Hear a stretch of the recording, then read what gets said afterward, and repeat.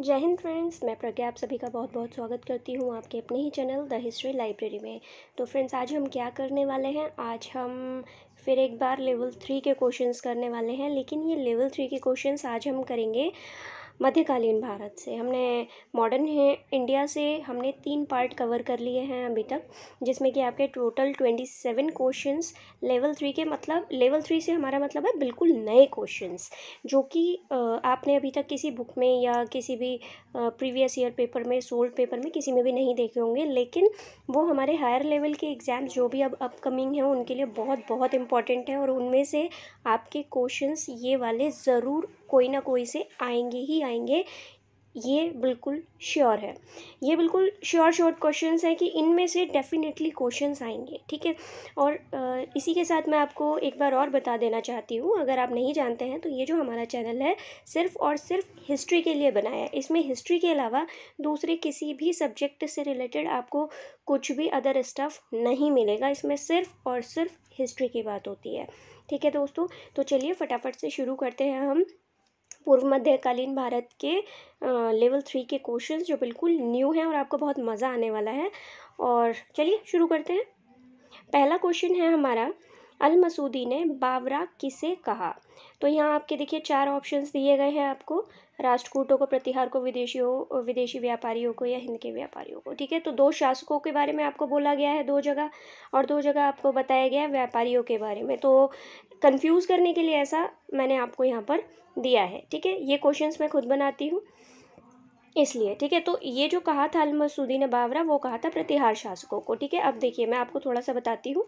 ये प्रतिहार शासकों तो को तो क्या कहा था इसने? अलमसूदी ने बावरा, ठीक है? ये देखिए, बावरा कहा था, और जो राष्ट्रकूट थे, राष्ट्रकूटों को क्या कहा था? बलहारा। तो ये दो वर्ड्स आपको याद रखने हैं, बावरा और बलहारा। तो बावरा कौन थे? प्रतिहार, ठीक है? और बलहारा बलहारा मतलब राष्ट्रकूट। अब इनको याद कैसे करें? तो देखिए ये ऐसे भी याद रख सकते हैं। मैं थोड़ा सा क्लीन कर देती हूँ इसको। इसको ऐसे भी याद रख सकते हैं कि राष्ट्र में बल कूट कूट कर भरा है ठीक है? कि रा, हमारे राष्ट्र में बल कूट कूट कर भरा है। तो बल से बलहारा आपको इस तरीके से याद रह जाएगा और प्रतिहार से आप कर सकते हैं कि वो हर व्यक्ति जो बावरा है मतलब जो बेवकूफ़ है मतलब बावरा कहते हैं ना एक तरीके से दूसरी मतलब हम लोगों की लैंग्वेज में कहते हैं ठीक है? तो इस तरीके से आप इसको याद रख सकते हैं। नेक्स्ट क्वेश्चन पर चलते हैं। नेक्स्ट क्वेश्चन है हमारा। तुरुष दंड किन से संबंधित था? देखिए, कितने अच्छे क्वेश्चंस हैं यहाँ पर। ठीक है?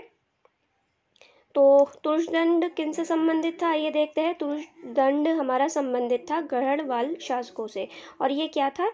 ये था एक तरीके का कर। तो गढ़ गहड़वाल जो शासक थे, उन्होंने एक तरीके का तर कर लगाया हुआ था, जिसको तुरुषदंड कहते थे, ठीक है? अब नेक्स्ट आया हमारा अनसाब था। अनसाब क्या था? अनसाब, यहाँ पे आपको चार ऑप्शन दिए गए हैं। आप वीडियो को एक बार पॉज करके अपने आप आंसर देने की कोशिश किया कीजिए, ताकि आपको अपनी तैयारी के बारे में भी पता चले कि आपकी तैयारी कितनी अच्छी है, ठीक है? तो ये क्या था? ये था अरबी अरबों की वंशावली रचनाएँ, जो ये वंशावली मतलब ये जो इतिहास चला है, वंशावली लिखने का जो एक तरीका चला है, वो अरबों से चला है। अरबों में वंशावली की जो रचनाएँ होती थी, उनको अंसाब कहा जाता था तो इसके लिए थर्ड का ए ऑप्शन करेक्ट है। नेक्स्ट चलते हैं नेक्स्ट क्वेश्चन है हमारा क्वेश्चन नंबर फोर चौदहवीं शताब्दी में मुद्रा प्रणाली और धातु शिल्प के संबंध में जानकारी निम्न में से किसमें मिलती है?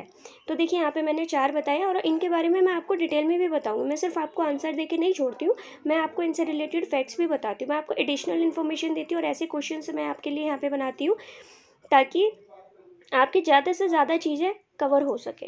देखिए, इसका सही ऑप्शन है द्रव्य परीक्षा। अब क्या पूछा गया था? यहाँ पे यहाँ पे पूछा गया था, चौदहवीं शताब्दी की बात हो रही है और बात हो रही है मुद्रा प्रणाली और धातु शिल्प के संबंध में, जिसमें जानकारी मिलती है तो वो मिलती है द्रव्य परीक्षा में, ठीक है? अब बाकी के जो है, मैं उनके बारे में भी आपको बता देती हूँ। अब देखिए, जो पहला है मिफ्ताउल फजूला मिफ्ताहुल फजूला।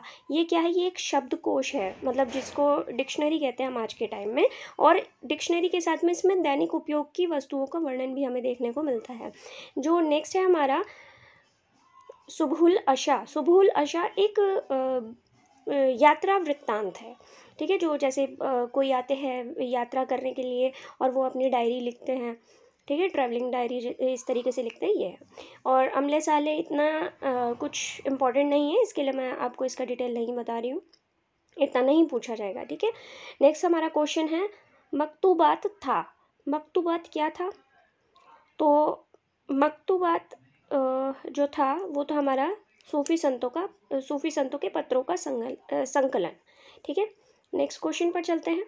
नेक्स्ट क्वेश्चन है हमारा राजपूतों ने नगद वेतन के बदले भूमि अनुदान को बढ़ावा दिया था। स्पष्टीकरण दिया गया है कि अधीनस्थ सरदारों को तीन की गुणांक संख्या में गाँवों का समूह अनुदान में दिया जाता था। तो देखिए, पहले तो ये बोला जा रहा है, क्या राजपूतों ने भूमि अनुदान को बढ़ावा दिया था? तो ये बिल्कुल सही बात है कि राजपूतों ने भूमि अनुदान को बढ़ावा दिया था, ठीक है? अब इन्होंने, देखिए, यहाँ पे जैसे जेआरएफ में हमारे क्वेश्चंस आते हैं, वैसे यहाँ फंसा दिया गया है। कि अधीनस्थ सरकारों को तीन की गुणांक संख्या में गाँवों का समूह अनुदान में दिया जाता था मतलब तीन छः नौ, बारह, इस तरीके से। तो ये गलत है। अब आई आई होप कि आपके दिमाग में भी ये चल रहा होगा कि गुणांक में तो नहीं दिए जाते होंगे, ऐसे तो पॉसिबल नहीं है कि एक दिया जाता होगा, एक, दो, तीन, कितने भी दिए जाते होंगे। लेकिन ये बात सही है कि उनको गुणांक में ही दिए जाते थे तो पहले हम इसका आंसर कर लेते हैं। इसका आंसर है ए सही है, लेकिन आर गलत है। तो सी इसका आ, सही ऑप्शन है। और जो गुणांक में दिए जाते थे वो तीन के गुणांक में नहीं दिया दिए जाते थे वो छः के गुणांक में दिए जाते थे। मतलब छः बारह अट्ठारह इस तरीके से गाँव के पूरा ग्रुप दिया जाता था। एक एक दो दो ऐसे नहीं दिए जाते थे। ये बहुत इंपॉर्टेंट चीज़ है ये याद रखिएगा। नेक्स्ट क्वेश्चन पर चलते हैं। बखर किससे संबंधित है? अब देखिए मैं आपको इसमें ये भी बताऊँगी कि ये बखर होता क्या था ठीक है? तो बखर या बखर कुछ इस तरीके से प्रोनाउंसिएशन जो भी होता हो, अरबी, फ़ारसी में कुछ अलग होते थे, ठीक है?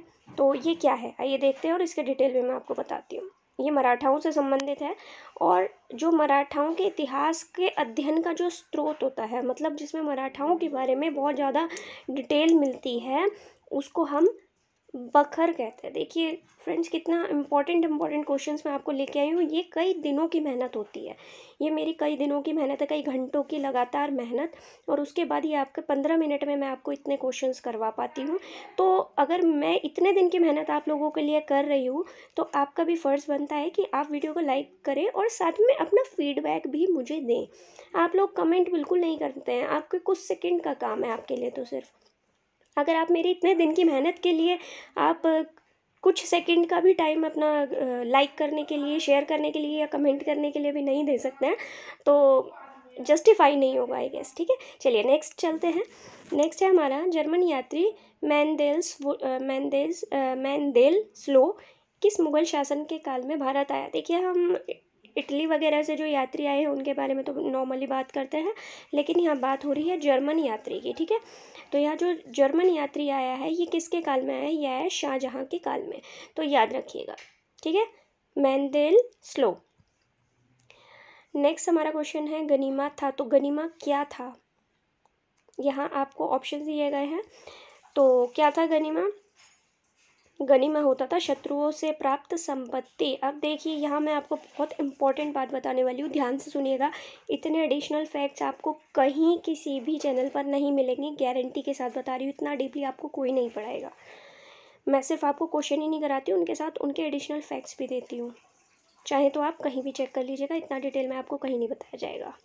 देखिए, अब मैंने बात की आपसे शत्रु से प्राप्त संपत्ति। अब शत्रु से प्राप्त संपत्ति कैसे होगी? शत्रु से तभी प्राप्त होगी ना जब उस, वो उस पर आक्रमण किया जाएगा, युद्ध किया जाएगा और उसके बाद लूटा जाएगा वहाँ का धन। तो जो युद्ध में जो लूट का भाग होता था, उसको क्या कहते थे हम नॉर्मली खुम्स कहते थे। अब ये खुम्स और गनीमा में डिफरेंस क्या है? देखिए, गनीमा वो है जो पूरा लूटा जाता था। जो जितना लूट लिया वो सब एक तरीके से गनीमा कहलाता था। ठीक है, अब यहाँ जो एक बटा पाँच भाग खुम्स के रूप में खलीफा को अर्पित होता था तो जो एक बटा पाँच भाग है, उसको बेसिकली खुम्स कहा गया है, जो खलीफा को अर्पित किया जाता था। ठीक है, बाकी जो बचता था, उसमें से आपस में बटता था कि ट्वेंटी परसेंट रखना है या एट्टी परसेंट रखना है, बट ओवरऑल इसको खुम्स बोल दिया जाता है, लूटे हुए धन को। ओवरऑल भी इसको खुम्स आपको पढ़ने को मिलेगा। लेकिन अगर हम और डेप्थ में जाएँगे तो यहाँ इसको गनीमा कहते हैं। तो ये याद रखिएगा। ये आपको कहीं भी कोई टीचर आपको इतने आसानी से ये बताएगा नहीं, इतनी बारीक चीज़ें। नेक्स्ट क्वेश्चन पर चलते हैं। नेक्स्ट क्वेश्चन है हमारा अरबों द्वारा निर्मित भारतीय उपमहाद्वीप की पहली मस्जिद थी। बहुत ध्यान से क्वेश्चन को पढ़िएगा। मैं फिर दोबारा से आपको बोल रही हूँ। बहुत ही ध्यान से क्वेश्चन को पढ़िएगा। वीडियो को पॉज कीजिएगा और आंसर देने की कोशिश कीजिएगा। अब आपके दिमाग में जो आंसर आ रहा होगा डेफिनेटली वो आ रहा होगा आपके दिमाग में कुवत उल इस्लाम मस्जिद। बट फ्रेंड्स इसका सही आंसर है देवल की जामा मस्जिद। ठीक है? देवल की जामा मस्जिद या बम्भोर की भी एक तरीके से इसको बोल सकते हैं हम, ठीक है? तो और दूसरी बात अब देखिए, यहाँ उपमहाद्वीप की बात हुई है या भारत की नहीं पूछी गई है, पूरे भारतीय उपमहाद्वीप की पहली, और किसके द्वारा? अरबों द्वारा निर्मित। तो वो देवल की जामा मस्जिद थी, ठीक है? अब देखिए, मैं आपको एडिशनल फैक्ट्स बता देती हूँ। जो सल्तनत काल की पहली मस्जिद थी कौन सी? कुतुल इस्लाम मस्जिद। ये आपने पढ़ी है कि सल्तनत काल की पहली मस्जिद है। ठीक है? तो पहली बात तो ये भारत में है। भारतीय उपमहाद्वीप की बात इसमें नहीं आती, फिट नहीं होती है। किसने बनाई थी? कुतुबुद्दीन ऐबक ने। ठीक है? ढाई लाख कुकू। मैंने याद करवाया था आपको, शॉर्ट ट्रिक में अगर याद होगा तो। इसलिए मैंने शॉर्ट में ही लिखा है, कुकू। तो सल्तनत काल की पहली मस्जिद थी उल इस्लाम मस्जिद। और बदायूं की जामा मस्जिद किसने बनवाई थी? इल्तुतमिश ने बनवाई थी। जैमियत खाना मस्जिद किसने बनवाई थी? अलाउद्दीन खिलजी ने बनवाई थी। और जैमियत खाना मस्जिद ही शुद्ध इस्लामी पद्धति की पहली मस्जिद थी।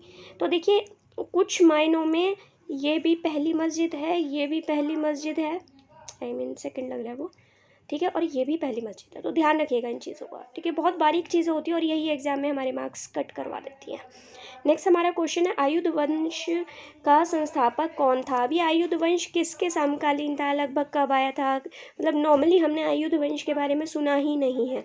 आप में से फिफ्टी परसेंट कम से कम ऐसे स्टूडेंट्स होंगे जिन्होंने आयुध वंश के बारे में सुना ही नहीं होगा। तो इसका जो सही आंसर है वो है वज्र युद्ध अब मैं आपको बता देती हूँ इसके बारे में वज्र युद्ध के बारे में। कन्नौज पे जब यशोवर्मन का शासन था उससे लगभग दो दशक बाद दो दशक मतलब लगभग बीस साल बाद लगभग 770 से 810 ईस्वी तक चक्रायुद्ध ने धर्मपाल की ठीक है मतलब ये तो अलग लाइन है यहाँ तक देखिए तो जो वज्र युद्ध ने किया था इसका स्थापना जो की थी इस आ, क्या है ये? आयुध वंश की, ओके? देखिए, मैं भी बोलते बोलते भी माइंड से स्लिप होता है। तो ये 770 से 810 ईस्वी के बीच में था। अब लास्ट में एट द लास्ट पॉइंट चक्रा युद्ध के ने धर्मपाल की अधीनता स्वीकार करी थी। उससे पहले तक ये शासक लगभग स्वतंत्र रूप से काम कर रहे थे। और लास्ट में, बिल्कुल लास्ट में, नागभट्ट सेकंड ने इन दोनों के पूरा ग्रुप को हटाकर मतलब ये मिल गए थे ना, जब आधीनता स्वीकार कर ली तो धर्मपाल और चक्रायुद्ध दोनों एक तरीके से एक साथ लड़ रहे थे। तो नागभट्ट ने इन्हें हराकर कन्नौज को जीतकर अपनी राजधानी बना लिया था। तो अब आपको थोड़ा डिटेल आई गेस समझ में आ गई होगी। नेक्स्ट क्वेश्चन पर चलते हैं। नेक्स्ट क्वेश्चन हमारे फिर वही एसरेशन वाले हैं, जो कि हमारे जेआरएफ के लिए बहुत इंपॉर्टेंट होते हैं। पहला आपको दिया गया है, गुप्त शासन काल के बाद लगभग 450 वर्षों तक शुद्ध सोने के सिक्के जारी नहीं किए गए और स्पष्टीकरण दिया गया है कि गुप्त काल के बाद सबसे पहले कलचूरी शासक गंगदेव कहीं कहीं आपको गंगे देव भी मिल सकता है, ठीक है?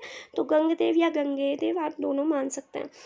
तो गुप्त काल के बाद सबसे पहले कलचूरी शासक गंगेदेव के सोने के सिक्कों का साक्ष्य मिलता है।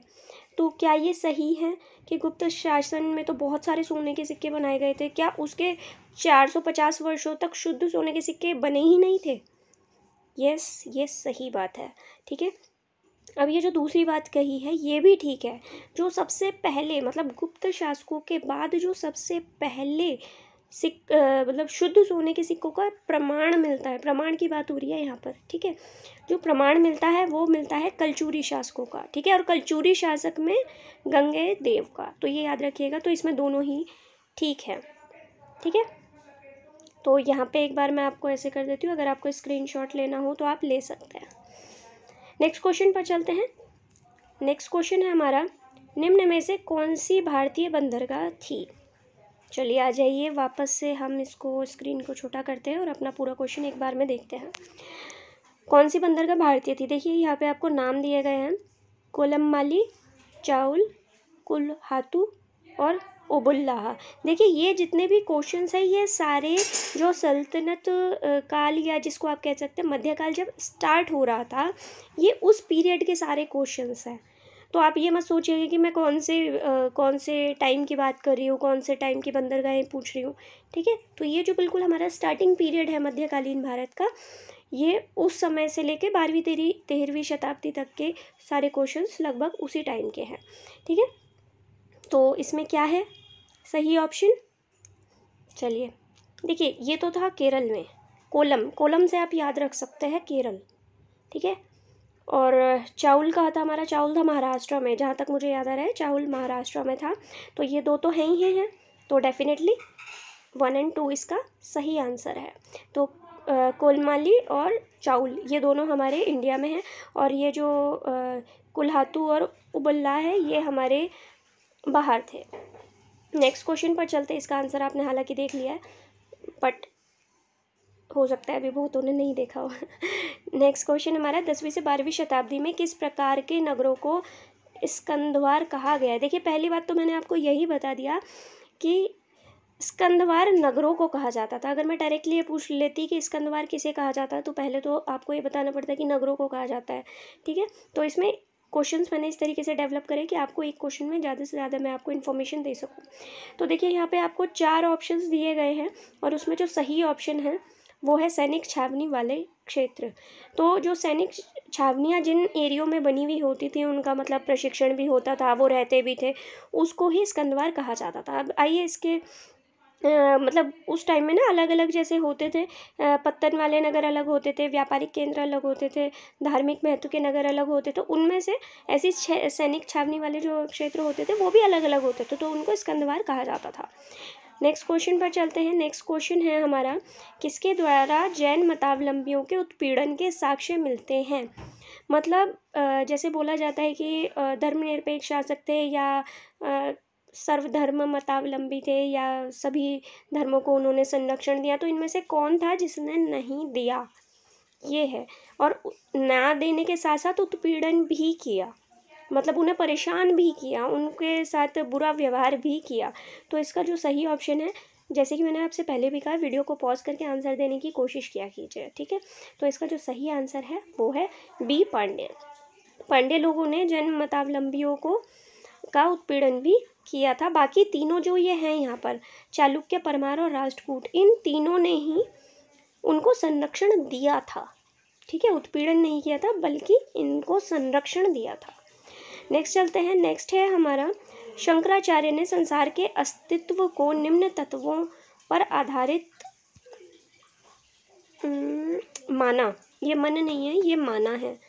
ठीक है? किन किन तत्वों पर आधारित माना था? तो यहाँ पर हम ऑप्शन देख लेते हैं। आ जाइए। यहाँ पे आ जाएगा माना। तो आइए देखते हैं आनंद चित्त सत्य और बंधन। ये क्या क्या है और किस किस को इन्होंने आ, संसार का अस्तित्व माना था? किस पे आधारित संसार का अस्तित्व माना था? तो इसमें से आनंद को भी माना था चित्त को भी माना था और सत्य को भी माना था। ठीक है ये ऐसे आएगा सत्य में। ठीक है तो अब इसमें से ऑप्शन देख लेते हैं वन टू एंड थ्री मतलब सी ऑप्शन इसका करेक्ट है। नेक्स्ट चलते हैं। नेक्स्ट क्वेश्चन है हमारा मैचिंग वाला। देखिए, मैं आपके लिए बहुत अच्छे वर्ड्स लेके आई हूँ और मैंने मैचिंग में इन वर्ड्स को इसलिए डाला है क्योंकि अगर मैं क्वेश्चन फ्रेम करती इससे तो इस अकेले क्वेश्चन से चार क्वेश्चन फ्रेम हो जाते हैं। आपको क्वांटिटी पचास में बहुत इजीली दिखा सकती थी ऐसे ही क्वेश्चंस को एक एक क्वेश्चन अलग बना के। लेकिन मैं चाहती हूँ कम से कम क्वेश्चन में, कम से कम टाइम में आप ज़्यादा से ज़्यादा कर सकें, ठीक है? तो देखिए, यहाँ आपको वर्ड्स दिए गए मगाजी, सीरत, मनाकिब और मलफुजात। ठीक है? तो ये क्या क्या चीज़ें थी? अब देखिए, यहाँ पे अगर आपने हद से हद कोई वर्ड सुना हुआ होगा तो मलफूजात आपने एक वर्ड सुना हुआ होगा। इससे ज़्यादा मुझे लगता है आप में से एटी परसेंट स्टूडेंट्स ऐसे होंगे जिन्होंने ऊपर के तीन वर्ड सुने ही नहीं होंगे। ठीक है? और एग्ज़ाम्स में हमारे ऐसे ही क्वेश्चन आते हैं। चलिए, आइए देखते हैं क्या इसका सही है। मगाजी कहते थे, युद्ध वृत्तांत को मतलब जो ये अरब होते थे, ये जो तुर्क होते थे, ये जो युद्ध करते थे, उनका जो युद्ध का पूरा वर्णन किया जाता था, उसको मगाजी कहते थे। ठीक है? नेक्स्ट है सीरत। सीरत कहते थे, हज़रत मोहम्मद का जीवन वृत्तांत। मतलब जैसे आप नॉर्मली इसको याद रख सकते हैं, बहुत इजीली याद हो जाएगा। जैसे हम कहते हैं कि उसकी सीरत कैसी है, कि सूरत पे मत जाइए, सीरत पे जाइए, सीरत अच्छी होनी चाहिए, सूरत के अच्छे होने से कुछ नहीं होता। तो सीरत मतलब उनका जीवन कैसा है? उनका इंटरनली वो कैसे हैं? तो आप बात कर सकते हैं हज़रत मोहम्मद के जीवन से रिलेटेड से। तो आप बहुत इजीली इसको याद भी कर सकते हैं। नेक्स्ट है हमारा मनाकिब। मनाकिब है मध्यकालीन प्रशस्ति। आप देखिए, ये इसको कैसे याद करेंगे? मैं से मध्यकालीन, ठीक है? और किब से आप किताब याद रख सकते हैं। तो मध्यकालीन किताब। अब मध्यकाल में क्या थे? बहुत सारे राजा हुए, बहुत सारे सुल्तान हुए, ठीक है? तो ये सुल्तान जो हुए, इनके कोई भी अगर किताब लिखेगा इनसे रिलेटेड तो क्या लिखेगा? तो नाइन्टी परसेंट तो वही लिखी जाती ना प्रशस्तियाँ। तो मध्यकालीन किताब मतलब मध्यकालीन प्रशस्ति आप इस तरीके से याद कर सकते हैं। मैं ये आपको याद करने का तरीका बता रही हूँ। अगर आप नॉर्मली याद कर सकते हैं तो आप याद कर लीजिएगा। नेक्स्ट है हमारा मलफुजात। तो मलफुजात सूफ़ी संतों की जो उक्तियाँ होती थी मतलब जो जैसे वो क्या कहते थे, उनका क्या कहना था, उनका दर्शन क्या था, वो क्या सजेस्ट किया करते थे, वो उसको मलफुजात कहते थे। तो इसका डी ऑप्शन करेक्ट है। नेक्स्ट चलते हैं। नेक्स्ट है हमारा क्वेश्चन देखिए, बहुत इंपॉर्टेंट क्वेश्चन है। हमारे नेट जीआरएफ के लिए तो बहुत ही ज़्यादा इंपॉर्टेंट है और उसके बाद पीजीटी और आईएसपीसीएस में भी ऐसे क्वेश्चन बहुत ज़्यादा पूछे जाते हैं। क्वेश्चन है हमारा किसने कहा? हिंदुओं के ज्ञान के भंडार में मोती भी हैं और कंकड़ भी, और इन दोनों के बीच अंतर कर पाना कठिन है। यहाँ आपको चार नाम दिए गए हैं, लेकिन इनमें से जो सही ऑप्शन है वो है अल बरूनी ठीक है? अल बरूनी ने कहा था कि हिंदुओं के ज्ञान के भंडार में मोती भी हैं और कंकड़ भी, लेकिन इन दोनों के बीच अंतर कर पाना कठिन है, ठीक है? नेक्स्ट है हमारा अहिंसात्मक प्रतिरोधात्मक सभा। का गठन किसने किया था? फ्रेंड्स ये क्वेश्चन आपका देखिए फिर से ये पुराने वाला आ गया, कुछ प्रॉब्लम हो गई है इसमें। ये आपका मॉडर्न इंडिया से आ गया है। बट बाय द वे ये हमारा गांधी जी था, ये पता नहीं बार बार क्यों आ जाता है क्वेश्चन इस क्वेश्चन को कुछ ज़्यादा लगाव हो गया है। शायद ये कह रहे हैं कि मैं एग्ज़ाम में आऊँगा तो मुझे रट लीजिए। चलिए नेक्स्ट क्वेश्चन पर चलते हैं। नेक्स्ट क्वेश्चन है हमारा चंपू शैली में, चंपू मतलब चंपू शैली क्या थी बेसिकली आपसे ये पूछा गया है कि चंपू शैली में कविता के साथ गद्य के अंश का प्रयोग होता था, सोलह पंक्तियों वाली ये कविताएँ होती थी, नाटक के बीच छंदों का प्रयोग होता था या कविताओं के माध्यम से प्रशस्तियाँ कही जाती थी चंपू शैली में। तो ये आपसे पूछा गया है तो आंसर करने की कोशिश कीजिए वीडियो को पॉज कर लीजिए। इसका जो सही ऑप्शन है, वो है कविता के साथ गद्य के अंशों का प्रयोग। देखिए, पहली बात तो चंपू शैली को आप अगर चंपू काव्य याद रखेंगे तो आप हमेशा याद रखेंगे कि ये काव्य था, ये गद्य था ही नहीं पहली बात, ठीक है? तो ये वाला तो पूरा ही गलत हो जाता है, क्योंकि नाटक तो गद्य में आते हैं, ठीक है? और यहाँ पे तीन आई हमारी कविताओं से रिलेटेड तो यहाँ पे लाइनिंग्स भी नहीं बताई गई हैं और ये प्रशस्तियाँ भी नहीं होती थी। ये कविताएँ होती थी जिनमें बीच बीच में गद्य के अंश दिए जाते थे। मतलब जैसे फॉर uh, एग्ज़ाम्पल अगर आप कोई कविता लिख रहे हैं उससे रिलेटेड आप कुछ बात कहने लग जाएँ एक दो लाइन में बीच में ऐसे आपने दो चार लाइनें बोल दी उससे रिलेटेड या उसको समझाने के लिए तो उस तरीके से ठीक है? तो ये भी इसी टाइम में डेवलप हुआ था। नेक्स्ट हमारा चोल प्रशासन में जीविता कहा जाता था। तो किसको कहा जाता था? वीडियो पॉज कीजिए आंसर करने की कोशिश कीजिए। तो जो जीविता कहा जाता था, वो कहा जाता था भूमि अनुदान। अब ये कौन सा भूमि अनुदान होता था, ये भी जानिए।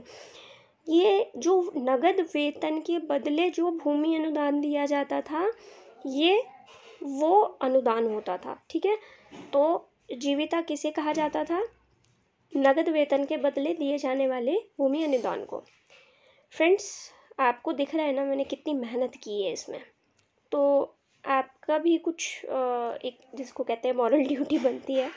तो आप देखिए अगर आपको वाकई में लग रहा है कि क्वेश्चंस मैं आपके लिए बहुत अच्छे लाई हूँ तो आप अपना फीडबैक ज़रूर दिया कीजिए। उस फीडबैक से मुझे पता चलता है मैं एनालाइज कर पाती हूँ कि आपको किस लेवल पे आ, की तैयारी कर रहे हैं आप लोग आप लोगों को क्वेश्चंस कैसे लग रहे हैं या मुझे और क्या इम्प्रूवमेंट करना है आप लोगों के लिए। ठीक है? और साथ के साथ इसको शेयर करना बिल्कुल मत भूला कीजिए क्योंकि ये भी ये हमारे लिए एक मोटिवेशन होता है जो कि देखिए हर किसी को ज़रूरी होता है। और सबसे बड़ी बात आप अपना इतना टाइम दे रहे हैं मुझे, वो मेरे लिए बहुत मायने रखता है। मैं नहीं चाहती आपके उस टाइम में से आपको ऐसा लगे कि आपने मुझे इतना टाइम दिया और आपने कुछ नहीं सीखा इस पूरी वीडियो में। ठीक है तो मैं ऐसा कभी नहीं चाहूँगी। नेक्स्ट हमारा क्वेश्चन है, चलिए टाइम नहीं वेस्ट करते हैं। वर्तमान राज्यसभा की भांति निम्न में से किसमें प्रत्येक वर्ष कुछ सदस्य बदलते थे? अब देखिए पहली बात तो ये कि चोलकालीन बात समय की बात हो रही है और दूसरी बात, सदस्य बदलने की बात हो रही है तो एक तिहाई सदस्य बदलने की बात हो रही है। ठीक है, अब यहाँ वर्तमान राज्यसभा का ये मत मतलब इसमें से बिल्कुल पॉइंट मत निकालिएगा कि वर्तमान राज्यसभा में तो हर साल इतने बदलते हैं और ये इसमें इतने बदलते हैं। इसीलिए सिर्फ़ ब्रैकेट में दिया गया है और यहाँ लिखा गया है कुछ। ठीक है तो यहाँ देखिए। यस अब देखिए। और आंसर करने की कोशिश कीजिए। किसमें ऐसा किया जाता था? तो ये किया जाता था सभा में। इसमें जो सदस्य होते थे तीन वर्ष के लिए होते थे, लेकिन प्रत्येक वर्ष एक तिहाई सदस्य जिसको आप एक तरीके से रिटायर भी कह सकते हैं। मतलब बदल दिए जाते थे। अब बदल दिए कैसे जाते होंगे? आई गेस कि रिटायर ही होते होंगे, जैसे आज के टाइम में हमारी राज्यसभा में होते हैं। ठीक है? जो डिफरेंस तो है। टाइम ड्यूरेशन में डिफरेंस है, जैसे पाँच साल में या तीन साल में ये डिफरेंस है और कितने प्रतिशत सदस्य बदलते हैं उसमें भी डिफरेंस है। लेकिन जो कॉन्सेप्ट है राज्यसभा का, वो बहुत सिमिलर है इस चीज़ से, ठीक है? तो बहुत अच्छा क्वेश्चन है ये। ये आंसर गलत है। नागरम में नहीं होता था, सभा में होता था, ठीक है? इसका बी ऑप्शन करेक्ट है। ये आंसर पे मत जाइएगा। नेक्स्ट हमारा क्वेश्चन है दसवीं से तेरहवीं शताब्दी के दौरान दौरान मंदिर केंद्र थे। तो किस चीज़ों का वो केंद्र हुआ करते थे दसवीं से तेरहवीं शताब्दी के बीच? तो पहले ये ध्यान रखिए, बात किसकी हो रही है? दसवीं से तेरहवीं शताब्दी के बीच की बात हो रही है, ठीक है? अब यहाँ एक बार देख लीजिए, इसे बहुत ध्यान से वीडियो को पॉज कीजिए और इसका आंसर करने की कोशिश कीजिए। तो देखिए, इसका जो सही ऑप्शन है, वो है उपरोक्त सभी, ठीक है? ये इसका सही ऑप्शन है। ठीक है? अब देखिए शिक्षा का और व्याकरण का तो आप मान ही सकते कि खगोल शिक्षा और व्याकरण तो होगा ही होगा, लेकिन यहाँ ये बहुत इंटरेस्टिंग है कि उस समय में जो मंदिर थे ना, वो ऋण देते थे मतलब ब्याज पे पैसा देते थे और क्योंकि वो पैसा देते थे तो इसी तरीके से वो अपना इन्वेस्ट होता चला जाता था और वो जो बिज़नेस चलता था उस समय का, उसमें भी वो सक्रिय रूप से भाग लेते थे। तो ये चारों ही ऑप्शन करेक्ट है। तो ये बहुत इंपॉर्टेंट चीज़ है कि उस दौरान जितने जितने भी हमारे क्षेत्रीय हमारे राजवंश थे, उनके जो मंदिर हुआ करते थे तो बेसिकली अगर हम देखें उस समय के जो मंदिर वगैरह थे, बहुत बड़े थे। तो उसमें ये चारों ही चीज़ें इंपॉर्टेंट हैं। अब हमारे दो लास्ट के क्वेश्चंस बचे हैं। चोल काल में वलंगई और एडंगई निम्न में से, वाह, मैंने आपको पहले ही आंसर दिखा रखा है। चोल काल में वलंगई और इडंगई निम्न में से थे तो वो थी सॉरी व्यापारियों की श्रेणियाँ नहीं थी। वो दाएँ में बाएँ हाथ की जातियाँ थी। अब ये दाएँ में बाएँ हाथ की जातियाँ क्या थीं? अब देखिए आंसर तो आपने देख लिया ले, लेकिन डिटेल तो मैं ही बताऊँगी ना आपको। तो जो दाएँ हाथ वो बाएँ हाथ की जातियाँ थी। ये ऐसा नहीं था कि इनका एक एक हाथ होता था ऐसा नहीं है। ये दाएँ में बाएँ हाथ की जातियाँ इस तरीके से थी कि जो दाएँ हाथ की जातियाँ होती थी इनमें कौन आते थे? तो दाएँ में आते थे हमारे जो कृषक वगैरह होते थे वो लोग आते थे। वो उन लोगों के जो जातियाँ होती थी वो आती थी जो एक मतलब महत्वपूर्ण एक मतलब स्थान रखते थे। लेकिन बाएँ हाथ की जा जातियाँ जो होती थी, उनमें आते थे आपके जो बिल्कुल लेबर टाइप लोग होते थे और जो धातु कर्म वगैरह करते थे, वो आते थे। लेकिन इनको हीन समझा जाता मतलब इनका स्तर ना नीचा समझा जाता था। तो दाएँ हाथ की और बाएँ हाथ की जातियाँ इस तरीके से थी। ठीक है? देखिए, मैं हमेशा कोशिश करती हूँ, देखिए, ये भी गलत है, यहाँ भी ये आंसर गलत है, इसका सही आंसर सी है। ठीक है? मैं हमेशा कोशिश करती हूँ आपको हर क्वेश्चन में एडिशनल इन्फॉर्मेशन मिले और एक भी क्वेश्चन ऐसा ना हो जो आपको देख के लगे कि अरे ये तो हमें आता है हमें ये बिना मतलब हमारा टाइम वेस्ट हुआ। मैं नहीं चाहती आपका एक मिनट का भी टाइम वेस्ट हो इसमें ठीक है? ये देखिए नेक्स्ट हमारा क्वेश्चन है ये भी बहुत अच्छा क्वेश्चन है और ये सारी हमारी मध्यकालीन के स्टार्टिंग मध्यकाल के स्टार्टिंग की ही ये आ, सारी मैंने आपको बुक्स दी हैं ऑलमोस्ट तो इसका मृत संजीवनम धनिक और नृपावली है शेमेंद्र की तो डी का टू। ओके। एक मिनट, इसका आंसर चेक कर लेते हैं। एक मिनट। इसका आंसर है, यस, ये करेक्ट है बिल्कुल। दशारूप है हमारा हलायुद्ध और हमारा ये है शिवेंद्र नृपावली है धनंजय की ठीक है? तो ये हमारा ऑप्शन बिल्कुल करेक्ट है यहाँ पर। फोर वन टू थ्री तो फोर वन टू थ्री ये हमारा करेक्ट ऑप्शन है। फ्रेंड्स इसका कन्फ्यूज़न दूर करते रुकिए अब मैं आपको श्योर वाले बताती हूँ। ये आंसर आपका नीचे जो लिखा हुआ है, वो पहले वाले क्वेश्चंस की तरह कुछ गलत है। तो यहाँ देखिए, अभी मैं आपको बताती हूँ, इसका ए ऑप्शन करेक्ट है। मृत संजीवन हलायुद्ध ने लिखा था। और जो आपका दशारूप था वो धनंजय ने लिखा था। दशारूपावलोक धनिक ने लिखा था और नृपावली शेमेंद्र की थी। ठीक है, जो नृपावली मैंने शेमेंद्र की पहले बताई थी, वही करेक्ट थी। और वही प्रॉब्लम होती है टाइपिंग मिस्टेक होती है तो सब गलत होता है। लेकिन मैं इस चीज़ का बहुत ध्यान रखती हूँ। ताकि ये ना हो, ठीक है? तो ए ऑप्शन इसका करेक्ट है। तो देखिए, आज टाइपिंग मिस्टेक में तीन यहाँ पे मिले हैं। इसके लिए कि पहले हमें जानकारी होनी ज़रूरी होती है ताकि आंसर्स देख देख के हम आपको गलत ना बता दें कहीं, ठीक है? तो चलिए, आज के ये ट्वेंटी फाइव क्वेश्चन कंप्लीट होते हैं। और फ्रेंड्स आपको मिडाइवल इंडिया के आपको क्वेश्चंस चाहिए, आगे के लेवल थ्री का पार्ट टू चाहिए, या आपको मॉडर्न इंडिया का पार्ट फोर चाहिए? आप वो मुझे ज़रूर कमेंट बॉक्स में बताइएगा तो मैं नेक्स्ट वीडियो उसी की ही अपलोड करूँगी।